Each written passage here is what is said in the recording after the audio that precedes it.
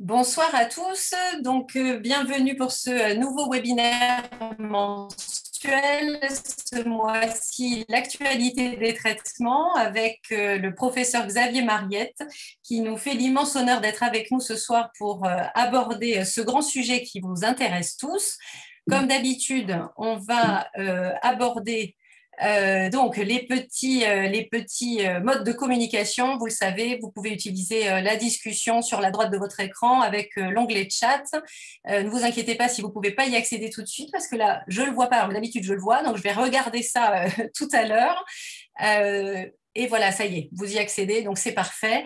donc, pour les actualités de l'association, on vous en a déjà parlé. Et pour ceux qui reçoivent la newsletter, vous êtes au courant également. Euh, on a lancé une saison de podcast sur euh, la vie euh, avec la polyarthrite rhumatoïde. Donc, vous pouvez, au cours de huit épisodes, dont le dernier paraîtra ce jeudi, découvrir avec Nathalie la vie avec la polyarthrite et donc partager ce que vous vivez également et, et en, en, savoir plus ou en découvrir plus et partager ça donc avec Nathalie. Pour la documentation PR et Covid, elle a été mise à jour et elle va être encore mise à jour là euh, courant juillet avec les dernières actualités qui nous viennent du Congrès européen de rhumatologie. Donc euh, n'hésitez pas à aller sur le site de l'association et Ludivine va vous euh, en mettre le lien dans le chat. Euh, pour accéder euh, justement aux dernières informations euh, les, les, plus, les plus à jour possibles, puisque vous le savez, au départ, nous avions, je crois, 30 questions, puis 40, 48, hein, et là, on va, on va encore augmenter dans, dans les deux semaines qui viennent.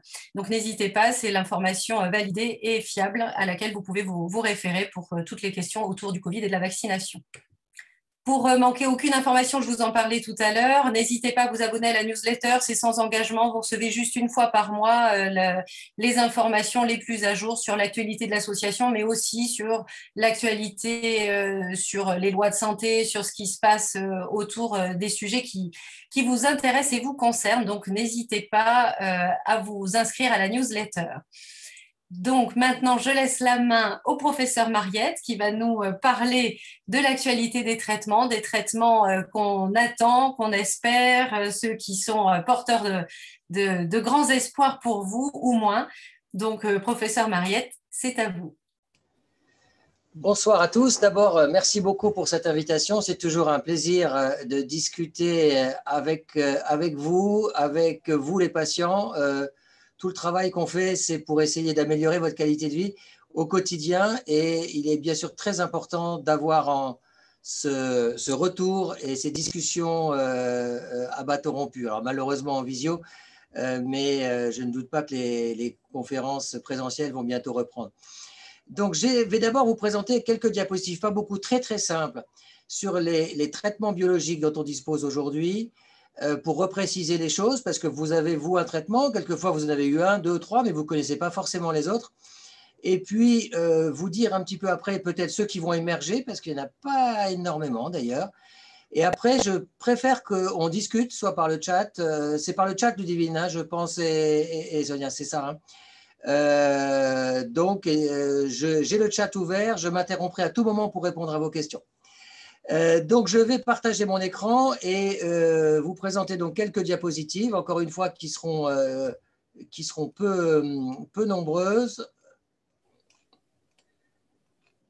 et que j'ai préparées pour vous. Alors, quand j'ai le... non, je n'ai pas le chat ouvert. Quand j'ai l'écran... J'essaie de voir ça. je regarde si je, peux, si je peux le faire quand même bon, c'est pas grave. Euh, donc, ce que je vous propose peut-être, c'est de m'interrompre à tout moment quand il y a une question et, surtout euh, qu'on puisse discuter euh, chaque partie donc de façon la plus vivante possible. plus, voilà, je dois l'avoir ici. Conversation. Voilà, je peux l'avoir là, donc ça va être très bien. Alors, premièrement, il est important de rappeler que les traitements biologiques de la polyarthrite rhumatoïde, euh, s'adresse à des patients qui sont réfractaires au traitement de fond de première intention qu'est le méthotrexate. Donc, ces traitements biologiques dont on dispose depuis maintenant 20 ans, hein, première mise sur le marché en 1999, sont des traitements qu'on va proposer à des patients qui ne répondent pas au traitement de première attention de la polyarthrite rhumatoïde, qui est le méthotrexate, ou qui échappent au traitement par méthotrexate.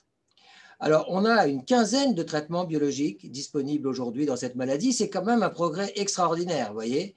Euh, en, en, 99, donc il y a 22 ans, il y en avait zéro. C'est une maladie euh, au cours de laquelle, quand même, les progrès ont été spectaculaires dans ces 20 dernières années. Donc maintenant, il faut aussi apprendre à gérer ces progrès et à gérer ces traitements dont on dispose, comment choisir pour un malade donné, comment gérer euh, leur tolérance, comment passer d'un traitement à l'autre. Alors si on fait une, une brève euh, finalement revue de ces traitements disponibles, on a d'abord les anti-TNF, donc qui sont arrivés sur le marché en 1999 pour les premiers, puis les suivants, les suivants ont, sont arrivés ultérieurement. Et vous voyez qu'on a cinq médicaments anti-TNF différents infliximab, adalimumab, etanercept, certolizumab, golimumab. Ce qui est très important pour les anti-TNF dans les nouveautés des dernières années, c'est l'arrivée des biosimilaires. Les biosimilaires, souvent au début, vous avez été un peu réticent parce que vous êtes habitué à un médicament. Changer le nom du médicament, ça vous semble quelque chose qui euh, peut finalement vouloir dire que c'est plus la même qualité. En fait, il faut vraiment, vraiment que vous sachiez que tous les biosimilaires sur le marché, l'efficacité a été démontrée équivalente au médicament original, équivalente avec des démonstrations dans des essais. Il faut que vous sachiez aussi que quelquefois le biosimilaire, il est euh, plus confortable à utiliser que le médicament original. Pourquoi? Parce qu'il y a eu des progrès depuis 20 ans, par exemple dans les excipients. Et euh, je vous donne juste un exemple. À un moment, il y a 5-6 jusqu'à il y a 5-6 ans, la, piqûre du Mira était douloureuse. Quand les biosimilaires du Mira sont arrivés, d'adalimumab, les piqûres étaient moins douloureuses. Donc c'était un avantage pour le patient. Et du coup, ça a poussé d'ailleurs AbbVie à changer son Humira pour que la piqûre soit moins douloureuse. Donc vous voyez que le biosimilaire, c'est une stimulation aussi pour que euh, tout ce qui est autour du médicament original peut-être soit amélioré. Et puis surtout, c'est une stimulation pour baisser les prix. Parce que il ne faut pas oublier qu'on est dans des médicaments qui vont coûter encore autour, pour le médicament commercial, de 8 000 euros par an. Hein. On est un pays riche et la crise sanitaire du Covid le montre, un pays qui rembourse complètement les frais de santé, ce que font pas beaucoup d'autres pays ne sont pas aussi généreux en termes de santé. Mais il faut qu'on ait tous une attitude responsable. Si le médicament est aussi efficace et s'il est moins cher, il faut vraiment favoriser le médicament qui est moins cher. Donc je pense que là, il y aura des questions, hein. il ne faut pas hésiter à, les poser. J'en vois pas pour l'instant sur le chat, mais euh, la nouveauté dans le domaine des anti-TNF euh, dans les dernières années, c'est bien sûr les biosimilaires. Alors ça concerne pour l'instant, ça concerne trois médicaments. Ça concerne infliximab, adalimumab et etanercept. Pour l'instant, les deux derniers qui sont euh, été commercialisés plus tardivement, on n'a pas encore de biosimilaires pour le certolizumab et le golimumab. Donc là encore, n'hésitez pas, je ne vois pas pour l'instant de, réaction. Euh, alors les effets secondaires, merci euh, Sandra qui me pose la question, qu'en est-il des effets secondaires de ces anti-TNF D'abord, il faut euh, que vous sachiez que c'est les mêmes entre les biosimilaires et les originaux puisque c'est le même médicament. Hein. je préfère tout de suite le dire. Alors, votre question est excellente Sandra parce qu'aujourd'hui, après 20 ans d'utilisation, on peut dire vraiment que les anti-TNF sont remarquablement bien tolérés mais remarquablement bien toléré. Euh, on sait qu'il y a une petite augmentation du risque infectieux qui existe surtout au début du traitement, quand la maladie est encore active, quand il y a d'autres traitements associés. Puis après, au bout de six mois, un an, cette augmentation euh, finalement euh, quasiment disparaît. On sait quand même qu'il y a quelques infections très rares qui peuvent se voir, comme des réactivations de tuberculose. mais pour le reste, ce sont vraiment des médicaments très, euh, très, très bien tolérés. Je vous donne deux exemples. Premièrement, le risque cardiovasculaire. On ne on savait pas au début. Et aujourd'hui, maintenant, on a la certitude que non seulement il n'augmente pas le risque, mais il le diminue. Vous savez qu'il y a un risque cardiovasculaire augmenté dans la polyarthrite rhumatoïde. Et aujourd'hui, on a la démonstration que les anti-TNF diminuent ce risque cardiovasculaire. Deuxième exemple, le cancer.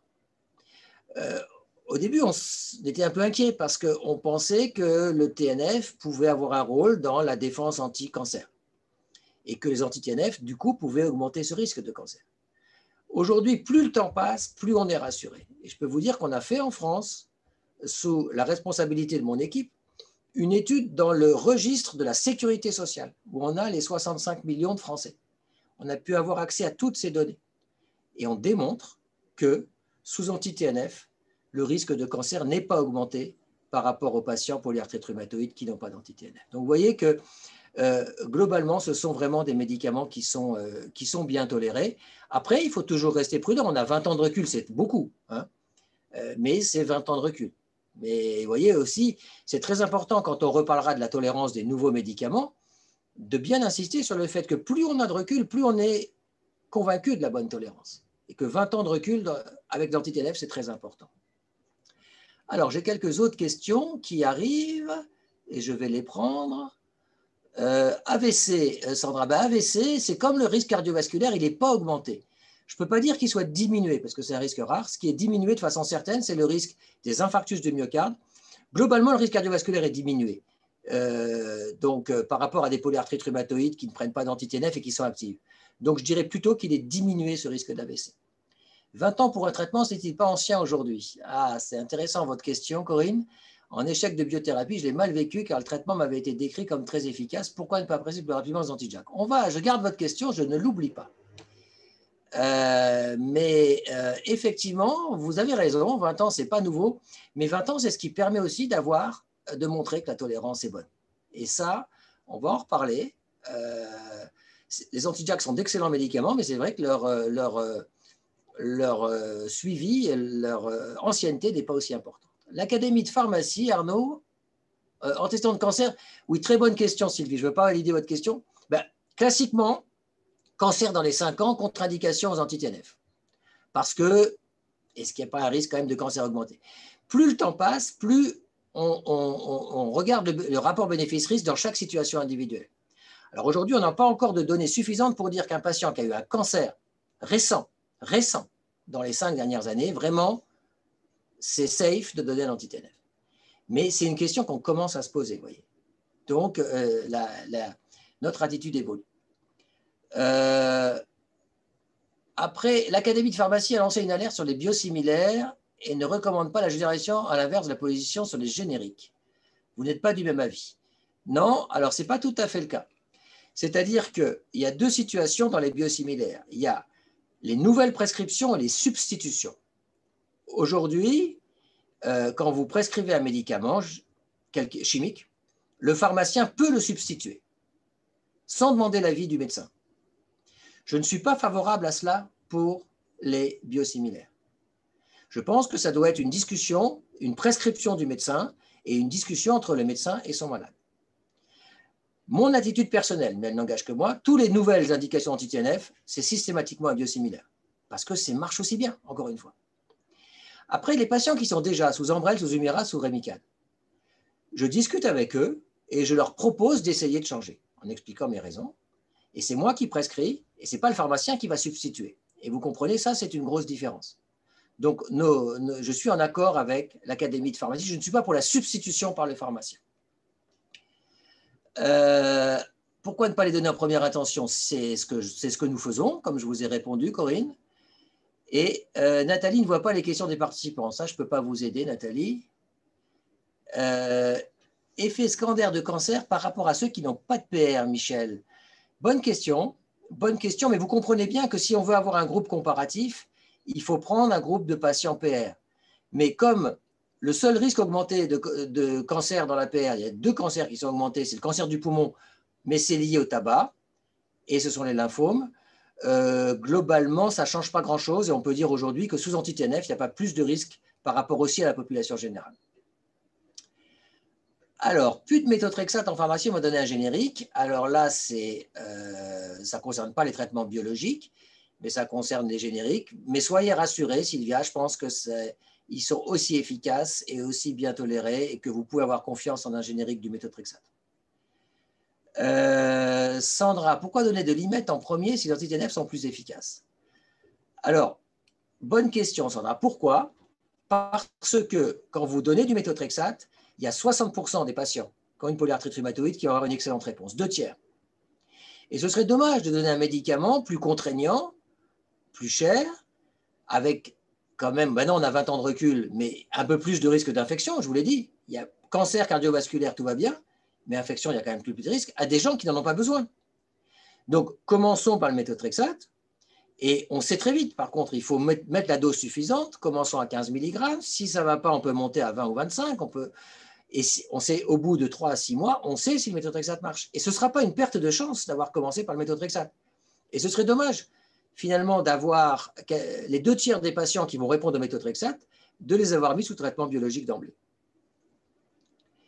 Euh, encore euh, une question, je vais quand même avancer, ne hein, vous inquiétez pas. On a une heure, hein, pas plus de toute façon. Alors d'accord, ça c'est technique, merci. Euh, essayez de vous reconnecter, ok. Bon, on va avancer et de toute façon, j'essaye de ne pas oublier vos questions. alors là, il y a une question de Corinne sur le méthotrexate associé aux biomédicaments. Alors, ça aussi, c'est une très bonne question, Corinne, parce que souvent, vous ne comprenez pas pourquoi. Vous avez eu du méthotrexate, ça ne marche pas, ou ça a échappé, et on va vous donner un biologique, anti-TNF ou autre, un JAK inhibiteur, et votre docteur va vous dire, mais on va continuer le méthotrexate. Pourquoi? Alors d'abord, il faut que vous sachiez que tous les traitements biologiques marchent mieux quand ils sont associés au méthotrexate, même quand le méthotrexate n'a pas marché avant. C'est difficile à comprendre, mais c'est vraiment les études le démontrent.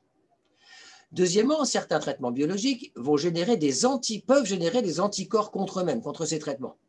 C'est le cas de certains anti-TNF, l'adalimumab, l'infliximab. Euh, c'est le cas du rituximab. Et à ce moment-là, donner du méthotrexate permet d'éviter l'immunisation contre le traitement biologique. Donc, quelquefois, quand le méthotrexate n'était pas très bien toléré, par exemple, quand il était à 20-25 mg, pas très bien toléré, ce que propose votre rhumatologue, c'est de, on maintient quand on met un biologique, mais on va le baisser la dose. On va passer à 15 ou à 10, par exemple. Voyez Donc, ça permet euh, une meilleure efficacité de méthotrexate quand même du traitement biologique. Euh, pour le rhumatisme psoriasique, c'est pareil, Michel, c'est le le même raisonnement euh, que pour la polyarthrite rhumatoïde, pour l'ensemble des traitements biologiques. Alors, je vais y revenir. Certains traitements biologiques, vraiment, ont montré une efficacité quasi comparable avec et sans méthotrexate. Et c'est notamment le cas des JAK inhibiteurs, et ça, c'est intéressant euh, parce que, effectivement, pour ceux qui ne tolèrent pas le méthotrexate, ça peut être une bonne solution. Ça peut être le cas aussi pour l'étanercept. Et c'est aussi le cas pour le tocilizumab, un anticorps anti-L6 récepteur. Alors, c'est jamais aussi bon, mais c'est presque aussi bon. Et il n'y a pas une aussi grande différence avec méthotrexate que pour d'autres médicaments, comme par exemple l'Humira, l'adalimumab ou les biosimilaires d'adalimumab. Euh, alors, je continue parce que là, il y a une question un peu précise sur votre cas. Séverine, je ne répondrai pas parce que là, je ne connais pas votre dossier. Donc ça, c'est votre rhumatologue qui va, répondre. Deuxième biomédicament, on passe euh, au, rituximab. Euh, rituximab, donc c'est un anticorps anti-lymphocyte B. Donc ça va détruire les lymphocytes B qui sont des cellules de l'inflammation qui jouent un rôle dans la polyarthrite rhumatoïde.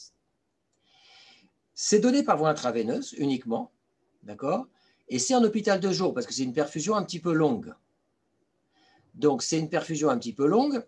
Et euh, donc, c'est un site hôpital de jour. Et c'est euh, à 15 jours d'intervalle, on fait habituellement deux perfusions pour le traitement d'induction. Pour le traitement d'entretien, très souvent, on ne fait qu'une seule perfusion. Donc, c'est plus léger.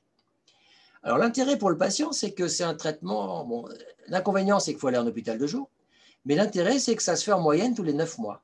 Donc, pendant neuf mois, vous n'avez euh, pas de traitement. Enfin, le traitement agit et vous n'avez pas à prendre de médicaments, pas à vous injecter. Euh, il y a un biosimilaire, vous voyez, qui, euh, marche très bien, de façon aussi identique. C'est comme pour l'anti-TNF et qu'on utilise maintenant le plus souvent dans tous les hôpitaux, parce qu'il coûte beaucoup moins cher, et qu'il est aussi efficace. Il a démontré sa même efficacité. Alors, ce traitement marche très bien, le rituximab. Euh, j'ai écrit sur la diapositive euh, ce qu'il faut surveiller chez quelqu'un qui, en prend depuis longtemps, depuis euh, plus de 4-5 ans, c'est qu'il peut avoir tendance à faire baisser votre taux d'anticorps. Donc ça, il faut le surveiller. C'est pour ça qu'on essaye d'économiser le rituximab et de faire des, traitements d'entretien juste quand le malade en a besoin et pas systématiquement tous les 6 mois. Hein. Donc, on, retient, on essaye de l'économiser. C'est pour ça qu'on attend juste avant la rechute pour le refaire et qu'on donne la dose minimale efficace. pour éviter que les anticorps baissent. Et quand les anticorps baissent, les anticorps, je parle des anticorps contre, qui nous servent à nous défendre, hein, pas les anticorps de la polyarthrite, eh bien, on peut risquer un peu plus d'infection. il y a quelques questions sur, le sur les vaccins anti-Covid, mais j'y répondrai globalement parce que ce n'est pas tout à fait l'objet ce soir, mais bien sûr, il y aura des questions sur les vaccins.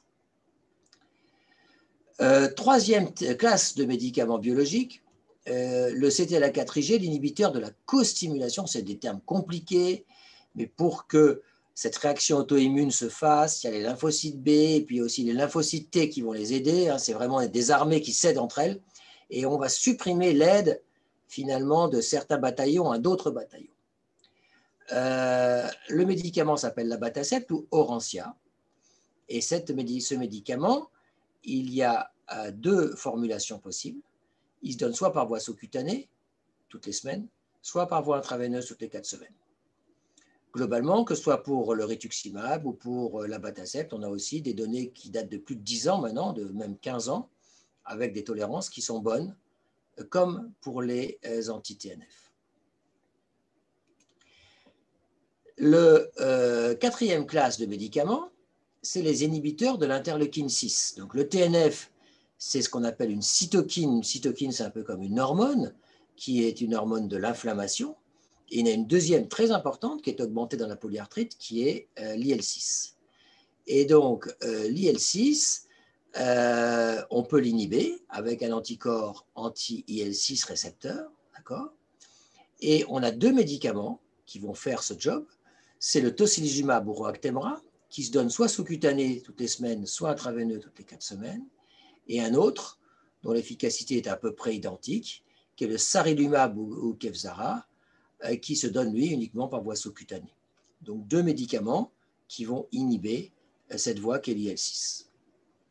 Donc vous voyez, on a déjà vu quatre mécanismes d'action différents, inhibiteur du TNF, du lymphocyte B, de la co-stimulation entre lymphocyte T et lymphocyte B, et maintenant de l'IL6.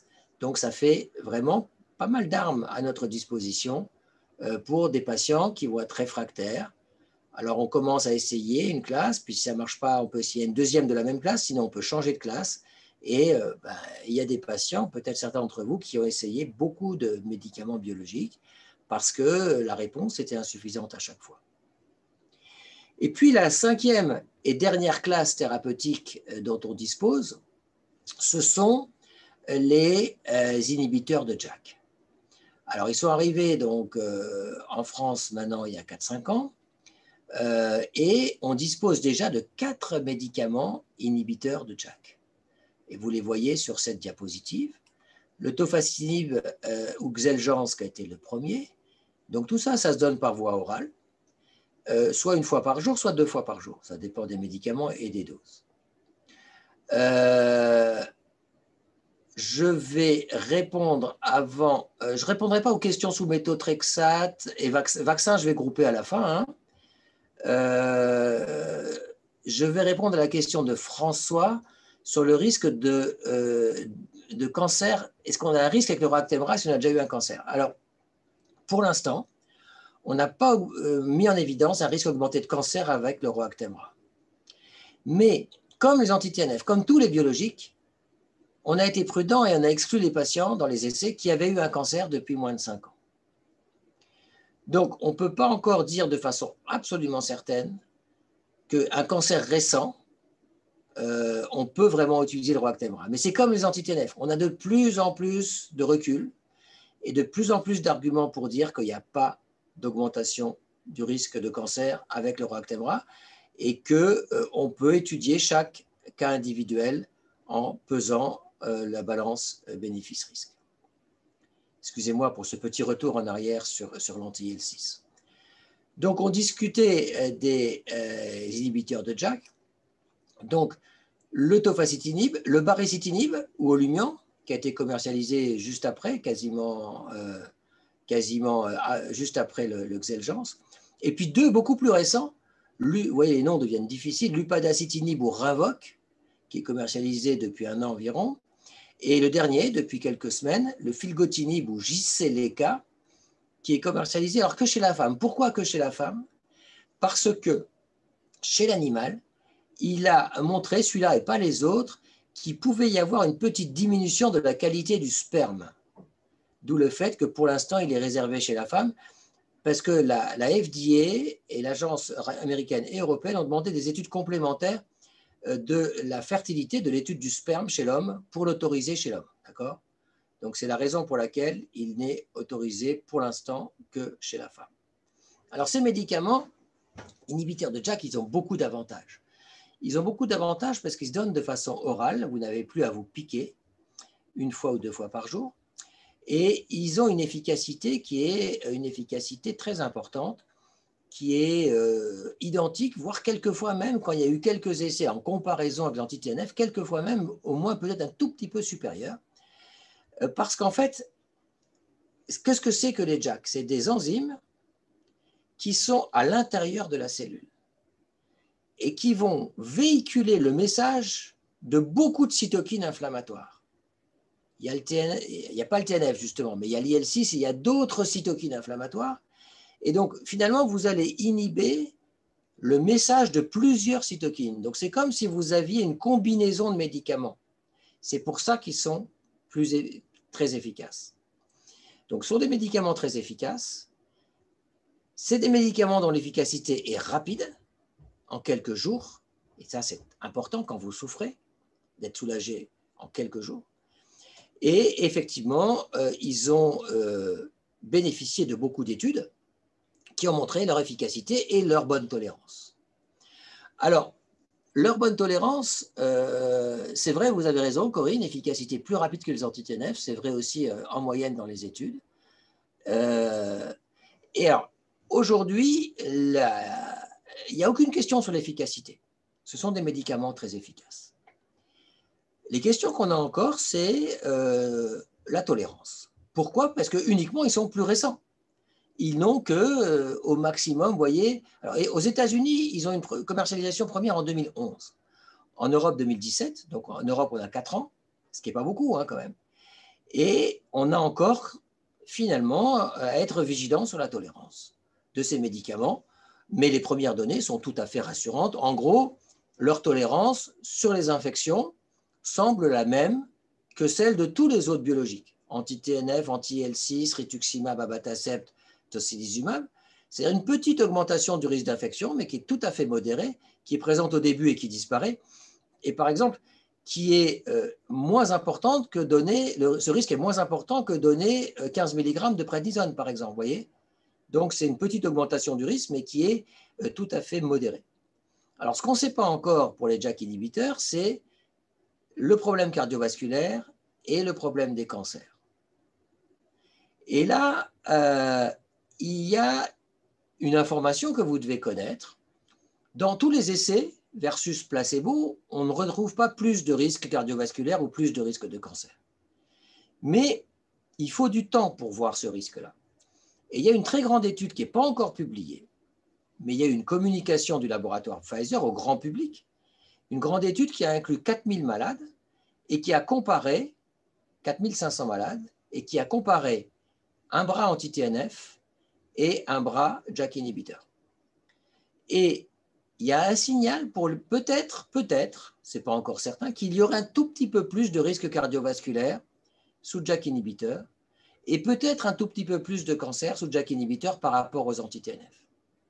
Alors, c'est peut-être uniquement lié au fait que les anti-TNF diminuent le risque cardiovasculaire, comme je vous l'ai dit, et que peut-être que les JAK ne le font pas. Mais c'est quelque chose qu'on doit connaître, et je pense qu'on doit être transparent avec les patients. Et quand je prescris aujourd'hui un JAK inhibiteur, j'explique aux patients, c'est un médicament très efficace. Les études de tolérance ont montré que par rapport à un placebo, c'était, il y avait il a le petite augmentation du risque d'infection, et ça on l'explique, et, euh, mais que euh, sur les cancers et cardiovasculaires, il n'y a pas plus de risque, mais que par rapport à d'autres médicaments de la polyarthrite, il y a encore quelques interrogations. C'est ce discours-là de vérité qu'il faut euh, faire passer. Et puis surtout, on va attendre quand même. Je pensais qu'à l'ELAR, on aurait plus de données, mais on n'en a pas eu pour l'instant. Mais c'est quelque chose qui est important, qui ne remet pas du tout en cause l'intérêt de ces médicaments, mais euh, que vous devez savoir. Alors, je regarde un petit peu le chat. Le bénéfice-risque en ce qui me concerne, je prends le risque de l'anti-jack car mon confort au quotidien. Alors, oui, euh, Corinne, c'est même pas un risque. Enfin, encore une fois, s'ils sont sur le marché, c'est qu'ils sont, ils sont sûrs. Ils sont sûrs. Et ce qu'on discute aujourd'hui, c'est sur des traitements au très long cours, euh, à, dose pleine, parce que le, risque cardiovasculaire, par exemple, pour le, pour le je vais vous donner exactement comment ça s'est passé. On s'est rendu compte que 10 mg, deux fois par jour, il y avait effectivement une augmentation du risque de phlébite, embolie pulmonaire ou un risque cardiovasculaire augmenté. Et à ce moment-là, les agences européennes, américaines n'ont commercialisé que le 5. Et c'est pour ça que la dose de tofacitinib est une dose de 5 mg deux fois par jour de Xeljanz. Donc en permanence, on essaye de trouver la dose euh, finalement qui est efficace et qui n'est pas toxique. C'est pour ça aussi que quand vous êtes en rémission avec un médicament, avec un JAK inhibiteur ou un autre, nous, rhumatologues, on va essayer de voir si on peut diminuer la dose.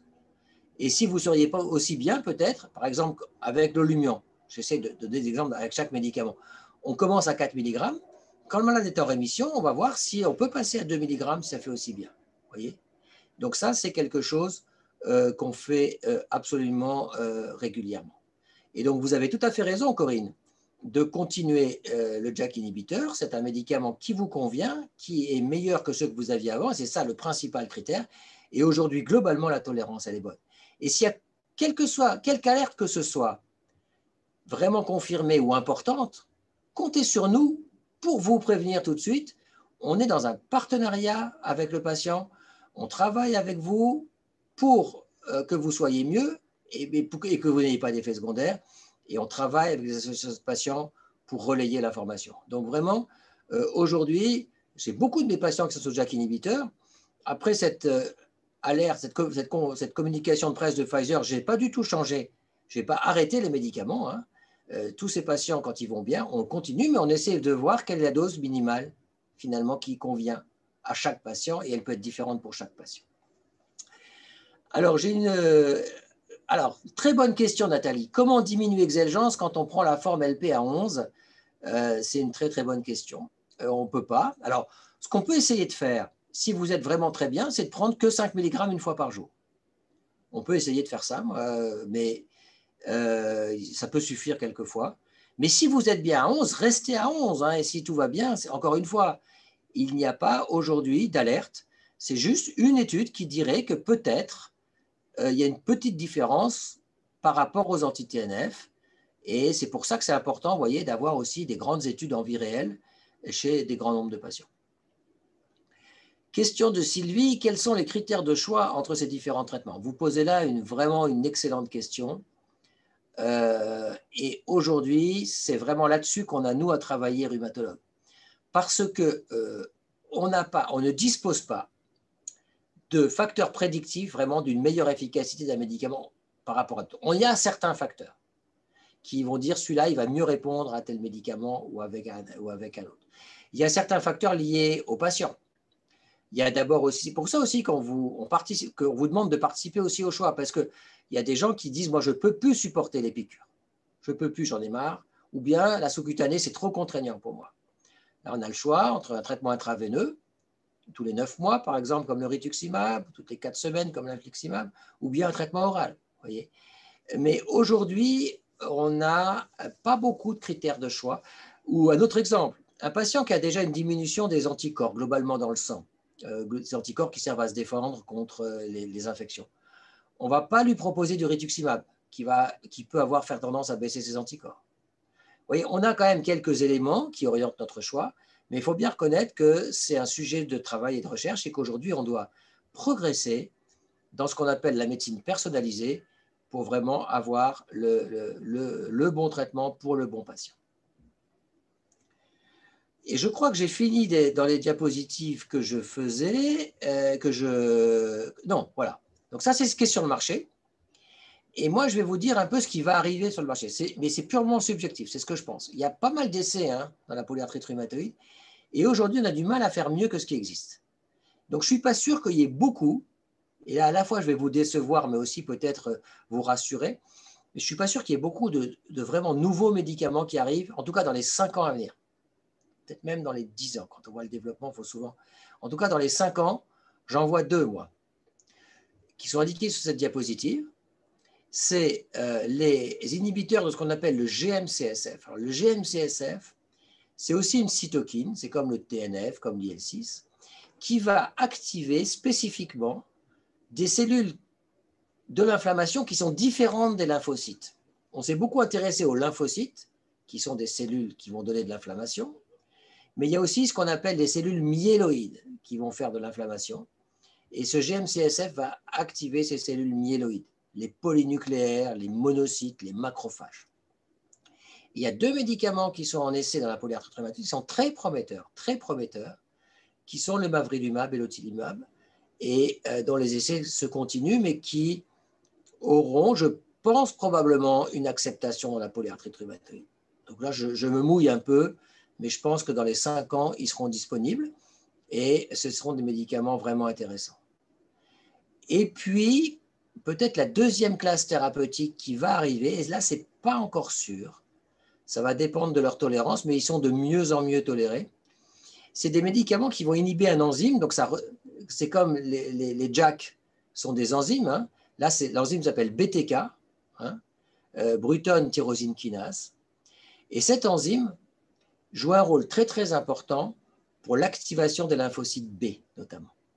Et peut-être que ce serait un moyen de diminuer l'action, l'activation des lymphocytes B de façon plus importante que le rituximab. Et ce sont des molécules orales qui sont en essai thérapeutique aussi dans la polyarthrite rhumatoïde et qui sont aussi euh, très prometteuses.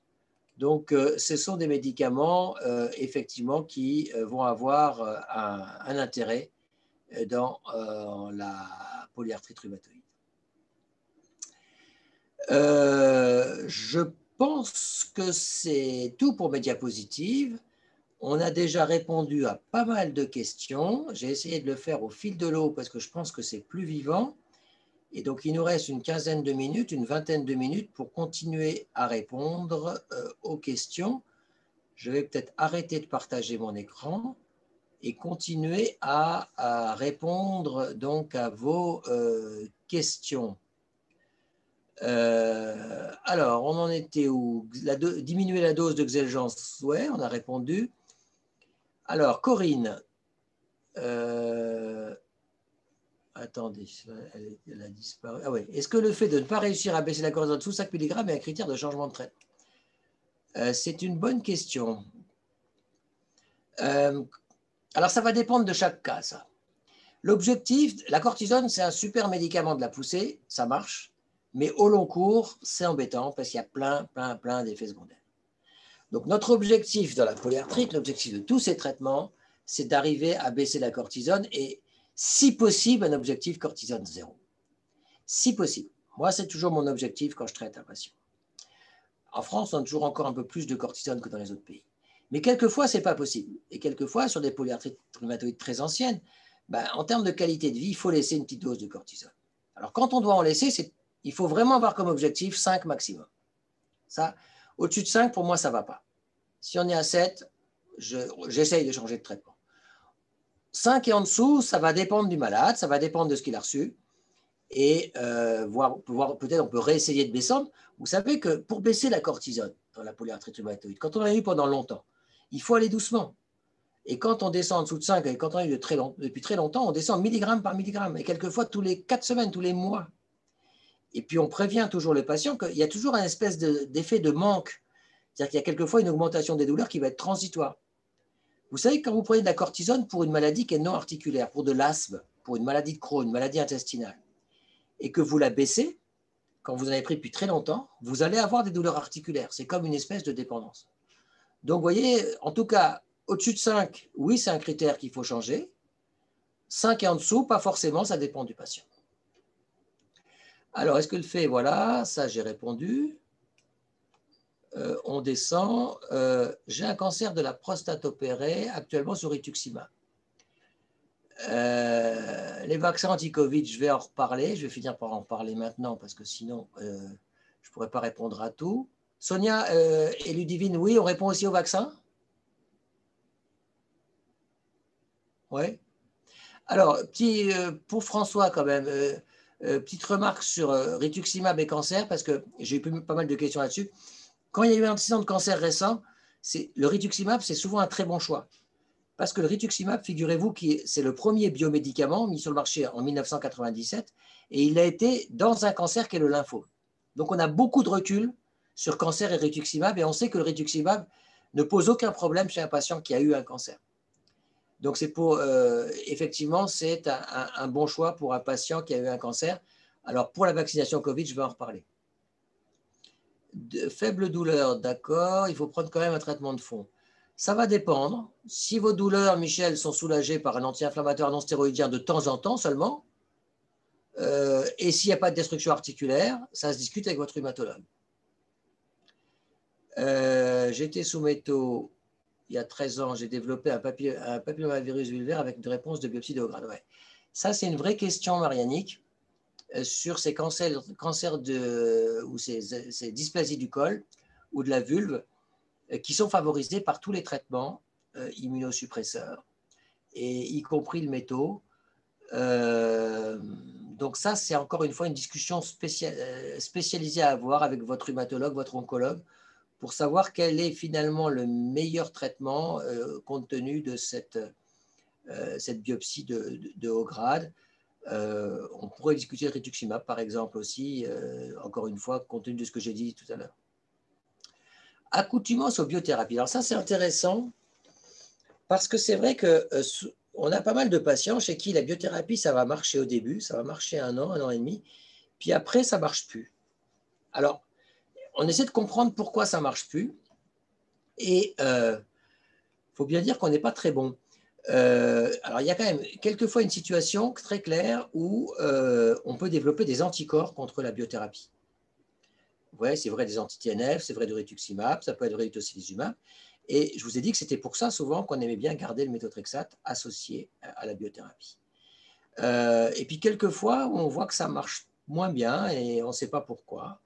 Euh, mais j'ai aussi euh, des patients qui sont sous la même biothérapie depuis 10 ans, 15 ans, 16 ans, comme vous, comme vous dites, Laura. Alors pourquoi après ça marche plus Alors quand même, c'est quelque chose que je conseille à tous les rhumatologues, c'est quand ça marche plus, il faut rechercher s'il n'y a pas des anticorps hein, contre le biomédicament. Euh, ça peut être une des causes.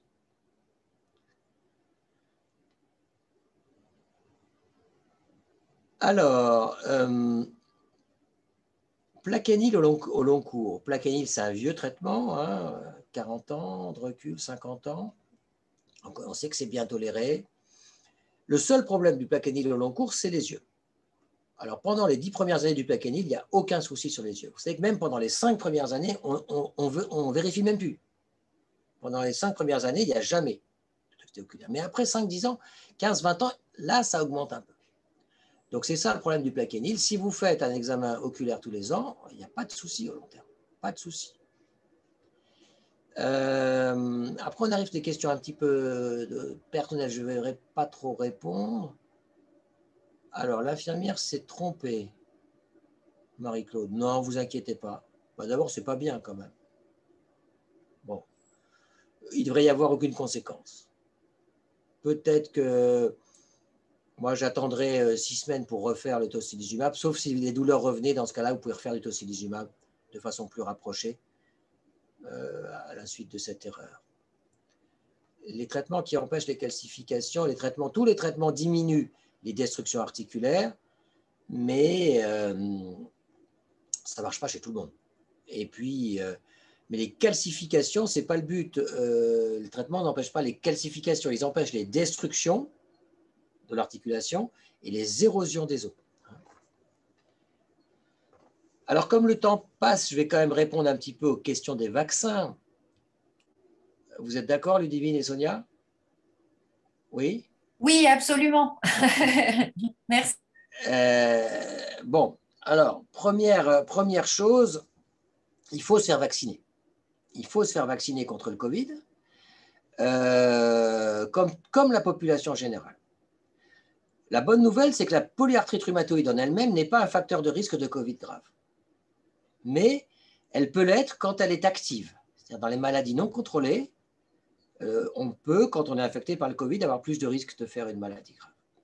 Et puis, il y a certains médicaments de la polyarthrite, mais très peu, heureusement, qui vont être un facteur de risque de Covid plus grave. ces médicaments, on les a bien identifiés maintenant.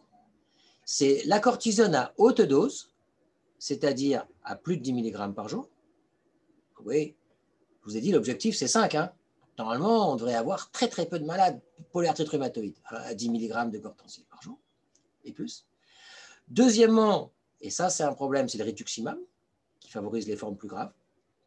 Et troisièmement, c'est des médicaments qui ne sont pas utilisés dans la polyarthrite rhumatoïde, mais dans d'autres rhumatismes inflammatoires chroniques. C'est le, le le mycophénolate ou l'azatioprine, c'est l'imurène. Et puis quatrièmement, on ne sait pas encore très bien, euh, avec les JAK inhibiteurs, si ça ne pourrait pas favoriser des formes plus graves.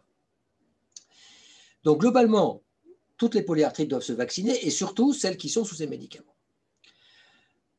Mais la bonne nouvelle, c'est que globalement, la polyarthrite, globalement, chez la plupart des patients, ce n'est pas un facteur de risque de gravité de, Covid. La deuxième bonne nouvelle, c'est que les vaccins sont efficaces, quels que soient les médicaments de la polyarthrite. Et ça, ce n'était pas évident au début des vaccins. Et enfin, ils sont sûrs. C'est-à-dire qu'on ne savait pas si les vaccins étaient sûrs chez les patients atteints de maladies auto-immunes. Donc, compte tenu de ça, avec le LAR, et c'est moi qui ai pris cette initiative, on a mis en place un registre international qui s'appelle ULAR COVAX, où on a colligé tous les patients atteints de rhumatisme inflammatoire qui ont été vaccinés pour leur demander comment ils avaient toléré le vaccin, s'il n'y avait pas eu de poussée de la maladie, pas eu d'effet secondaire. Et dans ce registre, on a 3500 malades déjà. Et je peux vous dire, on a fait une première communication à là qu'on ne trouve pas finalement euh, de problème particulier de tolérance chez les patients atteints de maladies euh, auto-immune. Il n'y a pas plus d'effets secondaires graves. Les, très rares thromboses, par exemple, avec euh, l'AstraZeneca, on n'en a quasiment on a pas vu. Donc, vous voyez, il n'y a, pas plus d'effets secondaires graves que dans la population générale. Donc, le vaccin, il est sûr, il est efficace. Il est efficace chez la quasi-totalité des gens, sauf chez certaines personnes avec certains médicaments. Et le médicament qui pose problème, c'est le rituximab. Et on a des études partout dans le monde, c'est les mêmes résultats. On a 60% des patients sur rituximab, quand ils ont une rituximab dans les six derniers mois, qui ne développent pas d'anticorps après vaccin. Pas développer d'anticorps, ça ne veut pas dire qu'on n'est pas protégé.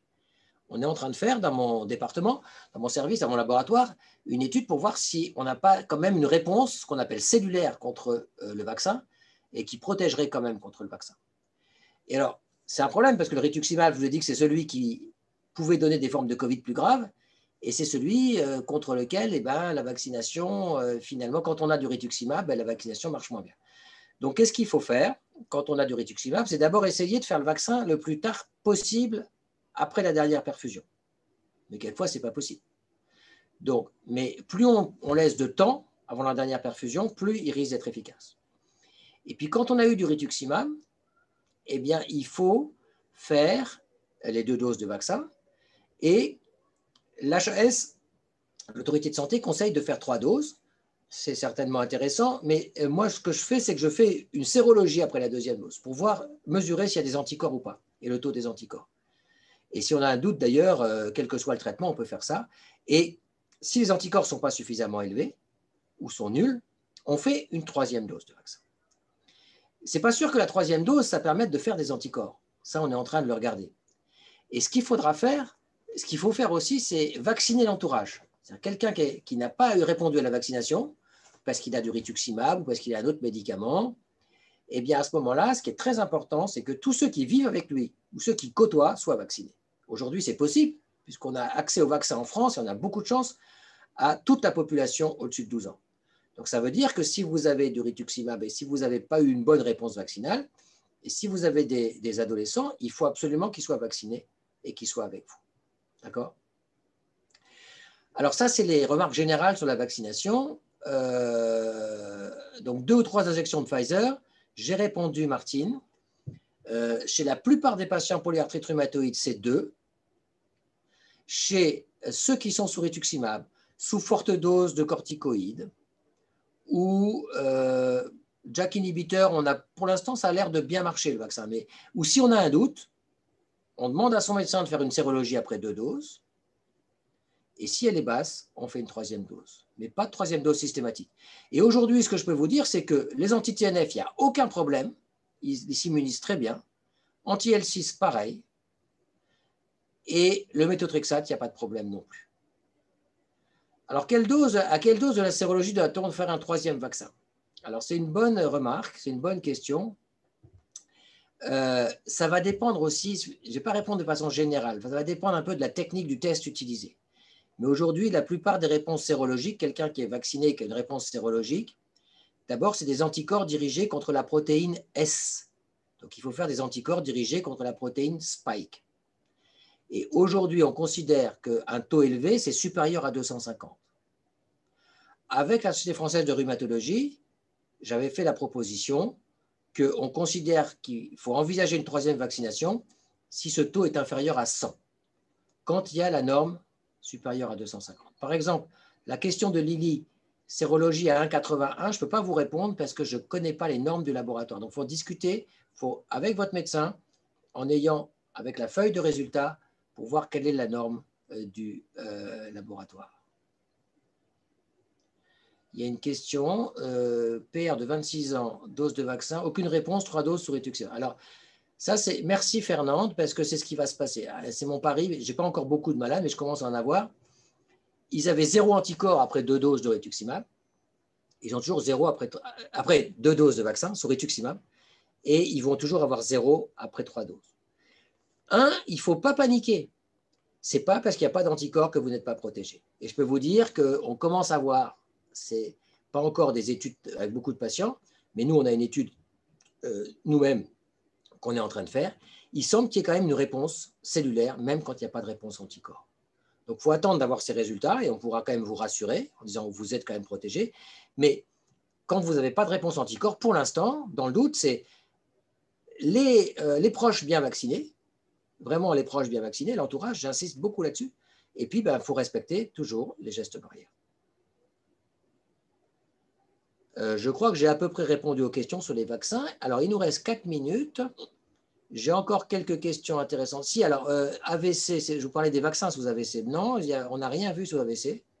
Même après un AVC thrombose sous orange faut-il se faire vacciner? Bah, euh, Si l'AVC date de, la semaine dernière, vous allez attendre un peu. Mais dès que vous avez, si c'est un antécédent d'AVC ou de thrombose, oui, bien sûr, il faut se faire vacciner. Et, aujourd'hui, euh, vraiment, euh, la vaccination est efficace et sûre chez les patients atteints de polyarthrite rhumatoïde. Quel que soit le traitement, il faut se faire vacciner. Euh, j'avais encore quelques questions sur. là, une bonne question sur les zonas. Je crois, j'ai vu ça quelque part. Oui. Xeljan, c'est zona. Oui, bonne question. Euh, bonne question. Euh, les JAK inhibiteurs, j'aurais dû le dire. Je vous ai dit que c'est le même risque infectieux que tous les autres. Petite augmentation du risque au début. Mais il y a une particularité, il y a plus de zona par rapport à tous les autres biologiques. Donc effectivement, il faut savoir qu'il y a une petite augmentation du risque de zona qui est un peu plus importante avec les JAK inhibiteurs.